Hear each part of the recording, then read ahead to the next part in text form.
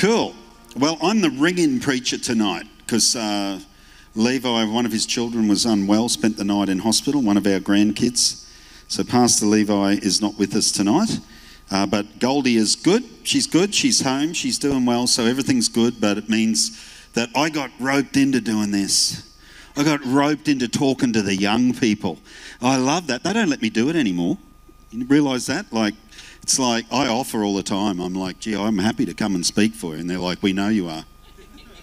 That's the end of the conversation. And then, uh, then when someone goes to hospital, it's like, would you come? It's like, yeah, yeah, I know, you need me still, just.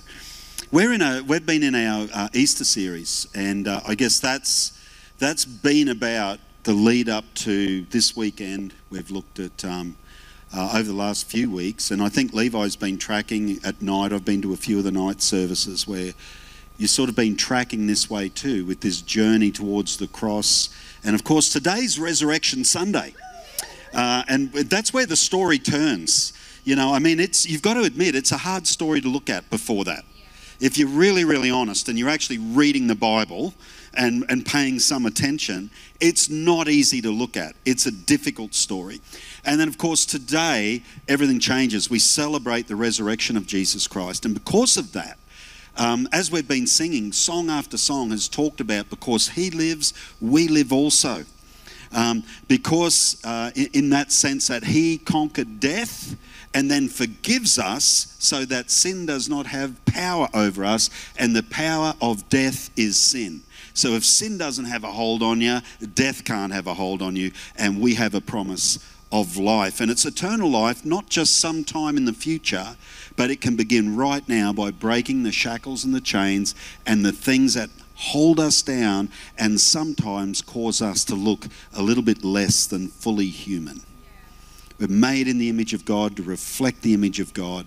And, uh, and when we sort of stray away from that, we begin to look just a little bit less than what we were designed and created to look like. So, here we are tonight. Levi did a survey. Survey. Now he gave me his notes. You know, he, he was like, "I'll give you my notes." I did a questionnaire. Some of you guys filled out some answers and responses, and uh, I'm going to give you all the notes, and you can just preach my notes, right? So I got them at like two o'clock, and the only problem is his notes were garbage. Eh? Like, now don't t- don't tell him I said that. No, it's not true. He actually had a really good concept, and I didn't want to steal it off him. So I just stole one point off him, okay? But I'm going to use his survey results, and he might use them again next week too. He asked a couple of questions, and I'm not sure who answered this, but can I just say, you know, young adults community of. Uh, of New Hope Church, I'm really concerned about some of you guys. some of the answers that here. So here we go. Have you ever lost something and found it in a strange or obvious place? Yes. I can tell some of the people have obviously answered the question already. My glasses, they were on my head. Now, come on, who has actually done that? Four, five, how many? Everyone else has never worn a set of glasses, I'm convinced of that. Uh, yes, lost my keys for six months, found in gum boots, top shelf. Top shelf. I remember losing a childhood teddy bear and finding him in a box that I must have put him in, if that kind of answers the question. It's like, yes, it kind of does. Here's a beauty. This, this one cracked me up. Don't admit this if this was you. Please don't. This is the story of when I lost my first tooth and didn't know it. Ha ha. So I was at the grocery store and my brother and I got those toys out of the coin machine while my mum was checking out at the checkout. The lids were hard to get off, and I used my teeth. I didn't even have a loose tooth or anything. I got it opened and was looking at the ground and saw something that looked like a tooth. I picked it up, held it out to my brother, and was like, Look, it's like a tooth. And he looks at me and starts screaming to our mum. Turns out there was blood streaming from my mouth, and it was actually my tooth. Lol. That's funny. I lost an apple, but it's okay. I found it in the bottom of my work bag three months later. And then someone just said, always, wallet, keys, my own flipping car at Grandy one time. And I'm like, that's hilarious. Okay, second question. Who, does anyone want to, should we continue with the survey? Second question was Have you found something in Jesus that you couldn't find outside of him? Which I thought was a great question. Um, probably the biggest thing would be security. These are the answers. Just being able to move forward no matter what's happening around me or how uncertain things feel. But that's a good answer. That's cool. Anyone else found that? I'd, I'd have to say that resonates with me. Peace in difficult financial situations. That resonates with me. Maybe I just find myself in trouble all the time. I found joy when I started to get to know Jesus. Before understanding what he did for me on the cross, I was really sad and angry all the time. I barely smiled. And now I smile all the time, even when things aren't great or easy, because I have joy in the fact that I'm not alone in it. What a brilliant answer. Uh, for sure, feeling secure and confident, feeling in control as well. Contentment, a deeper reason to wake up, a desire to grow because I know my life matters security in the way He accepted and continues to accept me wherever I am and take me on a journey. That's brilliant, eh? Um, I found, does it does this resonate? Some of these resonate with some of us, yeah. I found recently that I'm loved by Jesus, even if I didn't believe it to be true. But I do know now that I am loved by Jesus, and and He has created me for a purpose and I can confidently say that I am proud of how far I have come, and I owe a lot of that to my trust in Jesus. And I'm like, they're just such beautiful testimonies, eh? I was lost, but I found peace and purpose in Jesus. Simple testimony like that. So, I mean, they're just telling answers, and they certainly resonate with me, obviously, resonate with a few people. Maybe if you've walked with Jesus for a while, you've probably experienced at least one or two of those. Uh, that is kind of what Jesus does. And so I want to look at tonight's message is called The Kingdom Is. That's our theme for the year. It's life, part two, because this morning was part one. The kingdom is life, okay? And we're going to look at the resurrection of Christ. So I want to read from Luke chapter 24, eight verses. On the first day of the week, very early in the morning, and this is talking about, I guess, this morning back in history, okay? The woman took some spices they had prepared and went to the tomb. They were going to anoint the body. They found the stone rolled away from the tomb, but when they entered, they did not find the body of the Lord Jesus. Now, while they were wondering about this, suddenly two men in clothes that gleamed like lightning stood beside them. In their fright, the women bowed down with their faces to the ground, but the men said to them, Why do you look for the living among the dead? Now, there's a whole message there, isn't it? If you think about it. Why do you look for the living among the dead? We are always looking for life in the wrong places. He was not there. He has risen. He is not here, sorry. He has risen. Remember how he told you while he was still in Galilee, the Son of Man must be delivered over to the hands of sinners, be crucified, and on the third day be raised again. Then they remembered his words, talking about Jesus' words that he had spoken to them. And so, right here, we have this um, angelic appearance of these people in the tomb, mysterious people that give them a message from God, remind them what Jesus has said to them. And, uh, and I just want to take a few thoughts from these real quick. And as we go, so I'm going to get the ball rolling. I'm wondering if we get a little bit interactive by point two. Are you up for that? Okay, so here's the first thought they did not find the body of the Lord Jesus. We sometimes look for the wrong things in the right places. If you think about it, we look for the wrong things in the right places. They were in the right place to find a corpse. If they were looking for a body, they were in the right place. The question is, should they have been looking for a body? Jesus had said to them, I will rise on the third day. He had told them that, so they're actually in the right place looking for the wrong thing. Have you ever been there? You know you're kind of in the right place, but then you maybe sometimes only in retrospect realize I was looking for the wrong thing. My expectation was not necessarily helpful. Um, so when I look at this in the faith community of the church, I'm just thinking about this this afternoon. I think everything I'm about to mention, you will be able to find the following in the church. You should be able to find the following in the church. But only if you're actually looking at it the right way, which actually equals asking the right questions. In a sense, they were asking the wrong question where's the body? That's the wrong question. They should have been saying, Where is the risen Christ? So they had the wrong question and they didn't find what they were looking for. So when I think about the church, I think about our lives. I've seen this play out again and again and again. Friendship. Surely you can find friendship in the community of faith. I mean, I think you should be able to find that in the church. All of these things I'm about to mention, they're not bad things.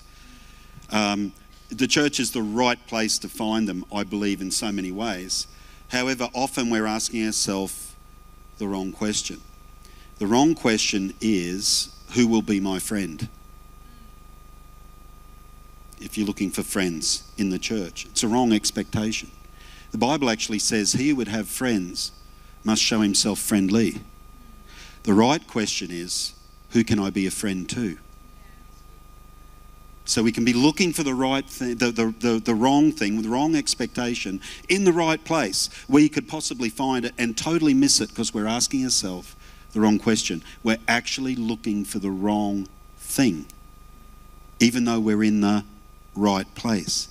And people get upset, people fall out of community, people walk away from churches at times going, Well, I couldn't find a friend there and they weren't very accepting. And it's like, my thought is always, How accepting and friendly were you? I tend to think that people that are friendly, accepting, find friends pretty quickly. Generally. You know, we might be shy or whatever, but uh, held me down if I'm not being, being truthful. Another one is relationships. And I guess I could talk here about uh, boy girl relationships. We've just done a relationship series. So, the boy girl relationship, you should be able to find a great relationship in the local church. I did.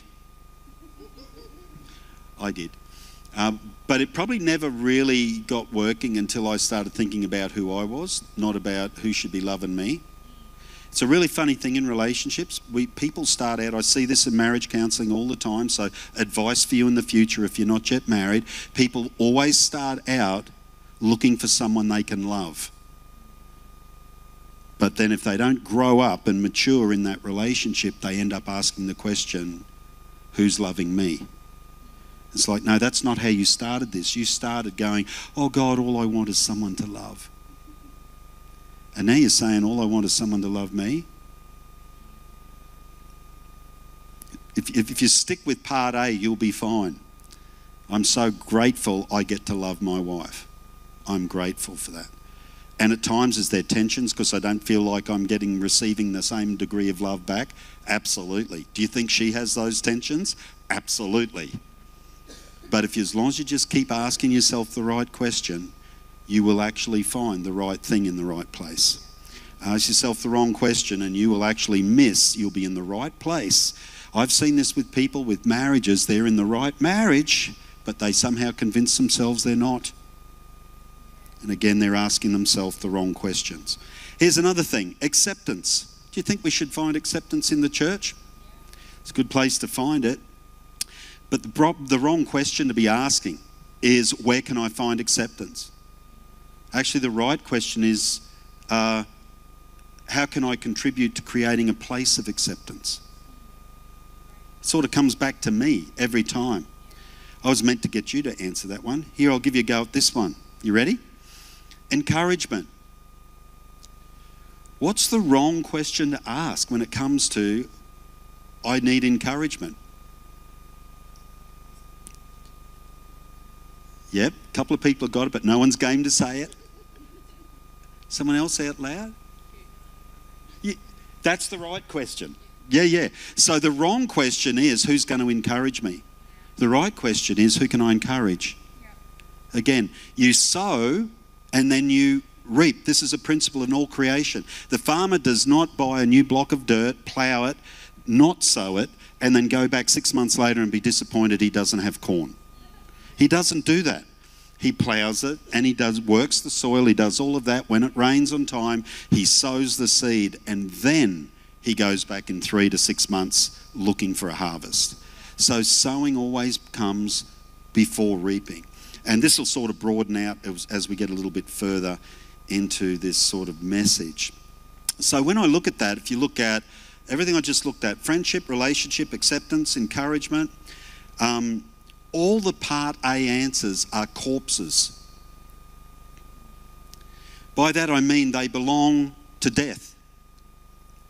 What's in it for me is death to us. Sin is selfishness, sin is introversion, sin is this is all about me. And when we do that, we always take from others. And we stop being a life giving spirit. We stop being a river that blessing flows through. And we become a stagnant pond and then wonder why we don't feel good. Because we're actually created to reflect the image of God, and God continuously gives, continuously gives out. So, all of those part A answers are like they're part of the cycle of death. Me, me, me. This is just acting like the man, the woman of dust, rather than the new creation that we're meant to be. Remember, Jesus said, if you lose your life, you'll find it. That's, that's the new creation order. It's sort of like a paradox. Hey, lose your life, you'll find it. Lose your life for my sake, Jesus said, and for the kingdom, and you will find it. But everything in our world is trying to push us back to the dust. It's all about you, your needs, instead of why not find a place where you can sow? And what you sow, so shall you reap, is what Paul teaches. And so you need friendship, you sow into friendship. But not with this motive of they'd better give back. That's not sowing, that's putting your seed in and keeping your hand on it so you can pull it back out if you need to. Sowing means you let it go. And not every seed, not every seed a farmer plants will actually bear fruit. Not every seed grows. Some seed just dies in the ground. Some seed, birds of the air take it. Not every seed of friendship you give will be reciprocated. And that's why it's so important to just keep sowing. He who sows much seed shall come with his sheaves, rejoicing. So, um, you okay? Does that make sense? So we're here, we're in the tomb, where we're talking about resurrection principles, and I'm talking about new creation. New creation's thinking different, it's asking different questions. That's one of the things Jesus does in our heart. He switches us on to a different way of viewing the world. Here's the second thought Why do you look for the living among the dead? I've already mentioned it. We often look for the right thing in the wrong place. So, just flipping this, we look for the living among the dead. So they were looking actually for the right thing, but in the wrong place, in a sort of a paradox, if I can flip that. So, do you want to get a little bit interactive here with some guesses? Okay, and I thought this would be the easy one because we've all, we've all at some point been looking for things that are good, that are right, that we think will give us life, but we're looking in all the wrong places. That's just common to man. And when I say man, that's mankind humankind, if uh, you need a better word. So, what are some things? What are some things that we might, what, what are some things we look for in the wrong places at times? Anyone game enough to? Validation. Absolutely. Absolutely. You know, if you, here's the interesting thing. Can I take it from there, Nick? And I'll run with these thoughts. So, and, and some of them might be in my notes, I hope. but this is what this is honestly what I've seen unfold, and this is just good, good, I guess, insight and advice. That if you don't receive your primary validation from your heavenly Father, no human being on the planet will be able to give you enough. No matter how many gifts, no matter how many words, no matter how much time, it will never be enough for you. And what's interesting, if we look at the life of our Lord Jesus Christ, before he worked one miracle, before he did a thing at his baptism, his Father in heaven spoke and said, This is my beloved Son in whom I'm well pleased. After that, he was tempted, returned in the power of the Spirit, and began doing miracles. So Jesus was affirmed before he did a thing. So many people are trying to do things to earn affirmation. But the only place to get genuine, authentic affirmation is from your Heavenly Father. And at that point, you cease from fighting for approval. And you know you're approved, and you begin to relax around people. And what I've found is life just begins to flow. But so many people, have you ever met someone who's just so insecure? They're always bragging it up, they're always telling stories you can't believe. It's because they don't have that sense of affirmation that can only come from their Heavenly Father. They're looking for that approval. So that's so true.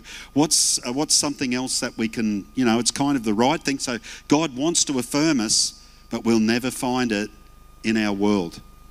You know, if you get people who are top of the sporting game, top of the music industry, top of the acting, most often their lives end up crashing and burning at some point. No matter how successful you are, you can't outrun your humanity. You just can't. You've got to come to a place of peace with it through God. So thanks, Nick. Anyone else? Just a, a thought. Identity. Well, there's a huge one, isn't it? I mean, that's kind of the buzzword of our age. The further, I'm, I'm, for me, interestingly, the further we've moved away as a society in large from accepting the fact that we are created in the image of God, the further our society moves away from that, the greater the confusion issues have become in our society over identity. So to me, that, those two things correlate, sadly correlate. And God is desperately wanting to affirm people. We are created in the image of God. And He's wanting to affirm that in people. But as our society rejects that, it's paying a huge price. Maybe some of us have, have felt that or are feeling the burn of that, moving away from the identity we were created to have. I just want to encourage you. You know, God is the one who gives you identity. God is the one that gives you affirmation. Don't look for that stuff in the wrong places, it will only add to your pain. So that's a huge one, Sarah. Uh, one, we got time for one more, real quick. Neither of those are in my notes, so this is awesome. Sorry? Exactly. That was in my notes, actually. Yeah, exactly right. So, you know, our world offers us a smorgasbord of this will make you feel better. Everything from new technology to dating apps to whatever it might be, pornography, whatever is out there. Eat yourself to death if you want to. Take this drug, it'll make you feel better. So, our world is saying all these pleasurable things. And to experience pleasure is good. God experiences pleasure. So, pleasure in itself is not bad. We are created in the image of God, therefore, we are created to experience pleasure, but it's one of those things that our world offers freely. But you've got to be very, very careful that you don't receive your pleasure from the wrong place. Otherwise, it always ends up taking from you once again. And um, when I think about that, you know, pleasure, I guess my, my note simply was we're always tempted with immediate gratification over long term investment. You know what I mean? It's always like, oh, this is easy, you can just get it like that. And there's just something that doesn't last about that. Whereas long term investment, whether it's in a relationship or whatever it might be, long term investment pays off. It's like our world's got this whole big get rich, get rich quick scheme running when it comes to money and pleasure but actually it's long term, steady investment that builds, whether it's a relationship or whether it's your finances or whatever it might be. That's actually the track that most people go forward on. Does that make sense? And so I just think about it like um, the Gadarene demoniac is what I thought about as an example with this. Um, he was a crazy guy that lived in the tombs, cried out, cut himself Bible says he was demon possessed and that Jesus, you know, literally delivered him of just a ton of demonic activity. Demons come flying out of him, pigs went screaming down and baptized themselves. All kinds of things happened around that.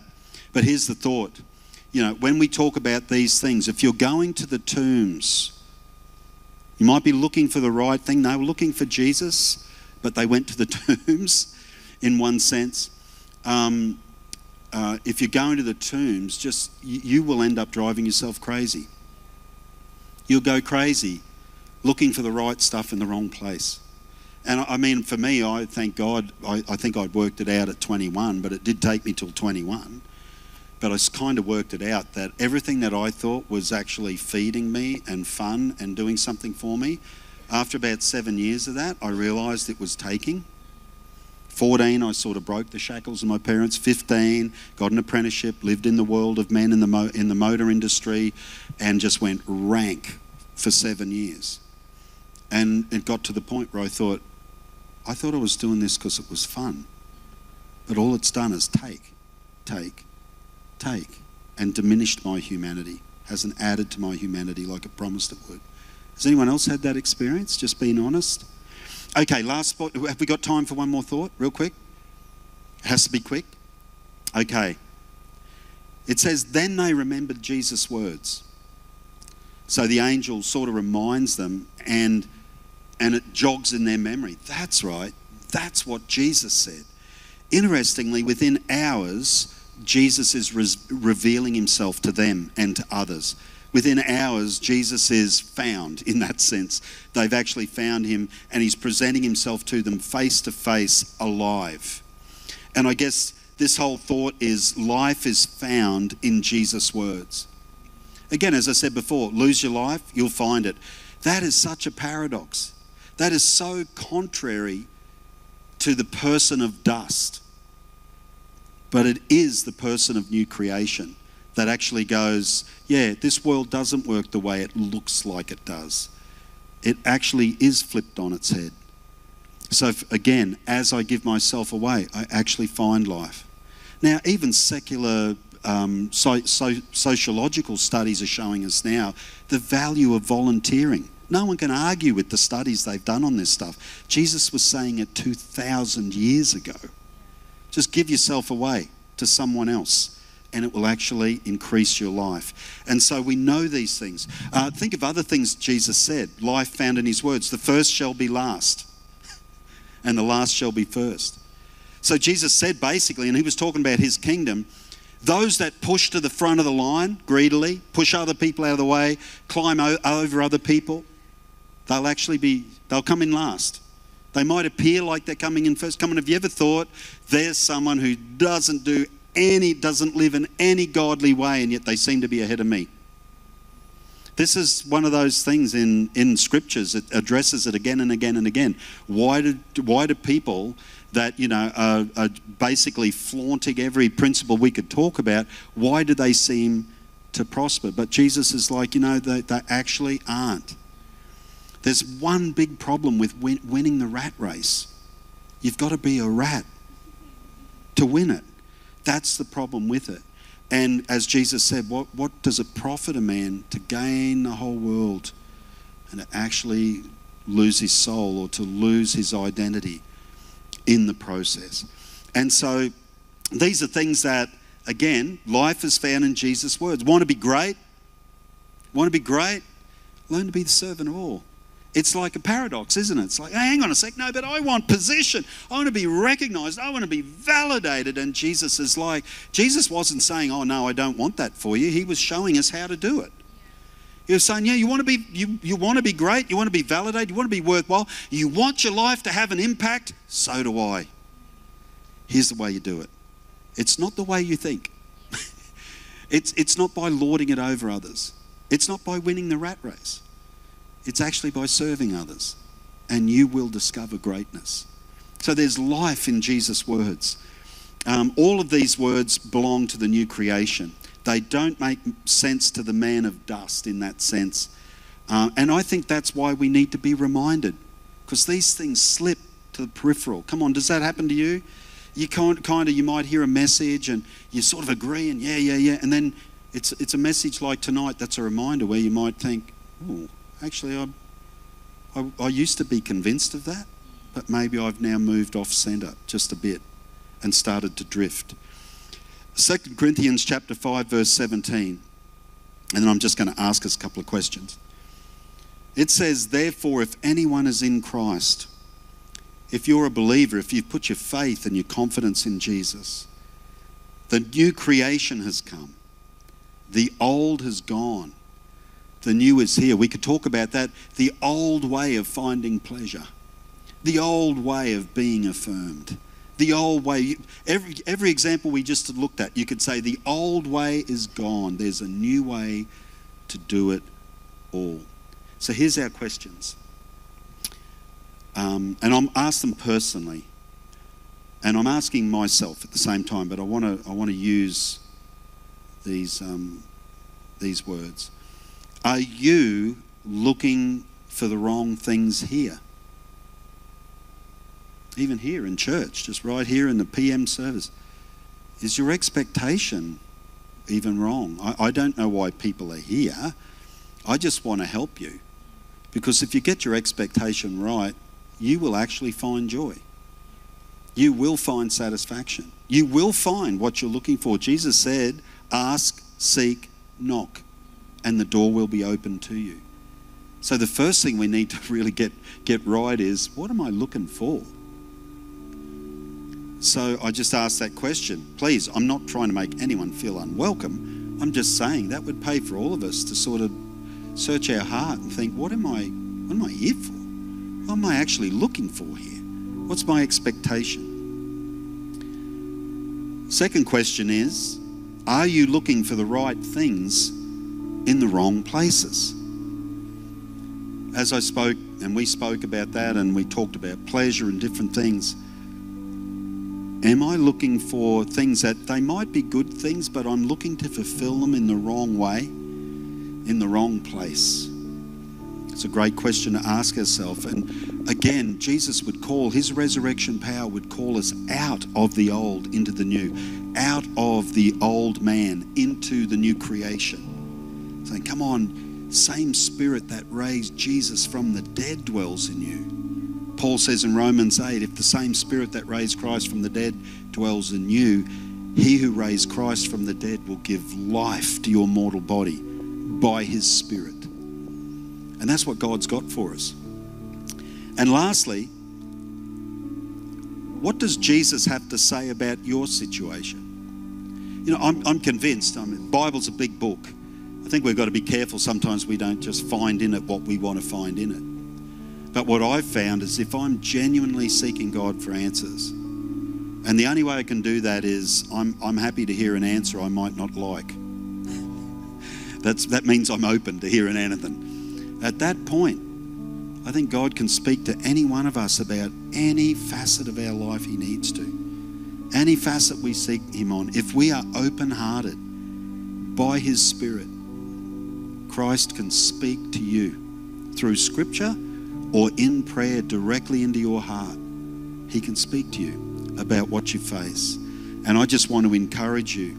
You know, if you're facing any sort of particular situation, if you're wrestling with anything, Find out what Jesus says about it because there's always life in Jesus' words. There's always life in Jesus' words. And sometimes it's so counterintuitive. You think, oh my goodness, Lord, no, you couldn't be asking that. But if you can just be obedient, on the other side of obedience, you find blessing. And you think, wow, God, thank you for leading me through my own fear and my own doubt. Thank you for giving me the faith to trust you because now I see the fruit of trusting you. And that's the resurrection life of Jesus at work in us. That's how it works. One obedient step, and Jesus meets us on the other side of our fear and of our doubt. So I'd love to pray for us tonight, if I could. Um, just before I hand back to whoever, Sarah. Um, could we? Could I pray for? Could I pray for you tonight? Is that okay? Could we just bow our heads for a moment? Let's just just give God a moment. And um, and Lord, I just pray for anyone whose heart's been stirred by that, whose heart's been challenged by it, whose heart's been encouraged by it. I thank you, Father, that by your Spirit you just empower your word in each one of our hearts, each one of our minds this, this week. Let this week be a week where we determine at, at every decision point we come to that we are going to live as new creation people. We're not going to live just as people of the dust, but we're going to live as people that you have called to be heavenly minded, Christ centered. Lord Jesus, we want to trust you every step of the way. While our heads are bowed, our eyes are, are closed. If you're here tonight and maybe you've never just put your faith in Jesus Christ, I want to give you the opportunity to do that just before we close. So just while while all our heads are, are bowed now, eyes are closed, friend, if if that's you, I'd love to know who I'm praying with. I'm going to pray a prayer. I'm not going to embarrass you. But if you're here tonight and you've never taken that step of faith, you know, stepping over your fears, stepping over your doubts, and putting your trust in Jesus, I want to encourage you to do it tonight. And if that's you, would you just raise your hand? I'll acknowledge it. You can put it down again. And I'm just going to pray one more time. Yeah, God bless you, mate. That's awesome. Others here in this place, just real quick. Just real quick. I don't know everyone here, so I want to make sure I give you the opportunity to do this. Well, that's wonderful. That's wonderful. So, Heavenly Father, we just thank you for people that are opening their heart right now to you. And we pray, Holy Spirit, that you would make yourself so wonderfully real and powerful to them, touch their lives, and let them know your reality, your goodness as they move forward in life. In Jesus' name, amen.